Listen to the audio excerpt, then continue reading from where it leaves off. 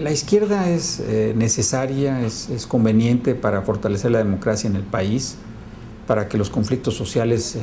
eh, se resuelvan por vías pacíficas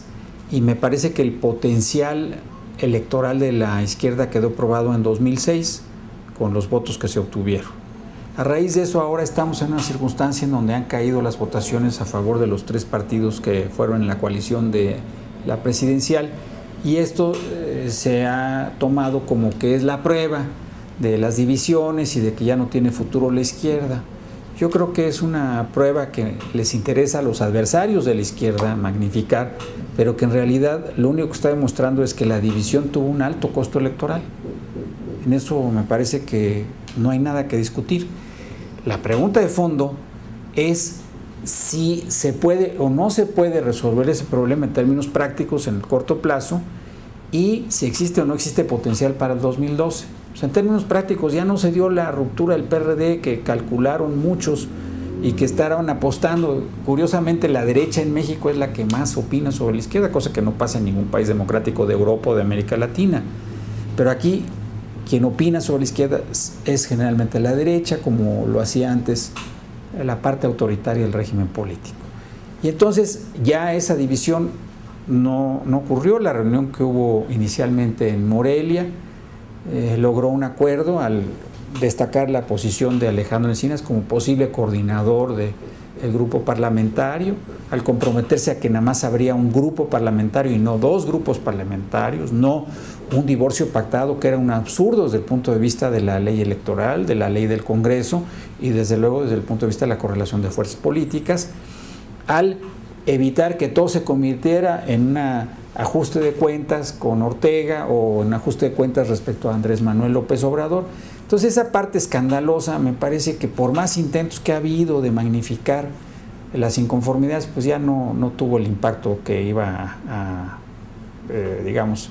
eh, darse según los cálculos que se habían hecho. La otra parte, la del Frente Amplio, pues tampoco, ya el Partido Convergencia ya está hablando de regresar a la mesa del diálogo con el PRD y el PT, ya hay muchos dentro del propio PT que están considerando la posibilidad de reintegrarse al Frente Amplio Progresista y que participe el PRD. Y el otro punto central es el del futuro. Yo lo que me pregunto en este momento es, ¿por qué hubo una altísima participación en, en estas elecciones? O sea, la presidenta del Tribunal Electoral calculaba que iban a participar 30%, fueron 45%, según los especialistas que conocen el padrón, esto equivale a un 52% de participación real por todas las inconsistencias que tiene el padrón.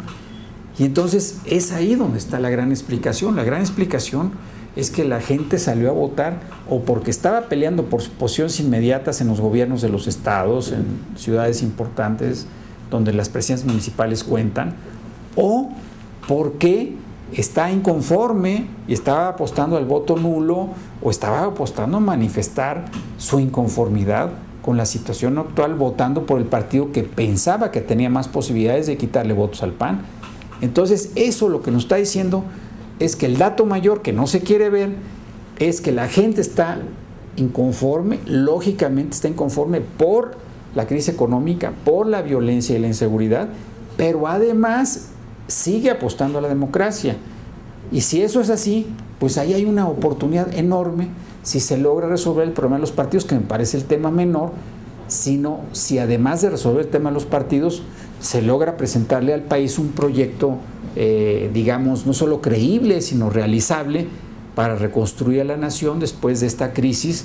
eh, que no es de ahora, que ya viene tiempo atrás, pero que requiere de una revisión mayor.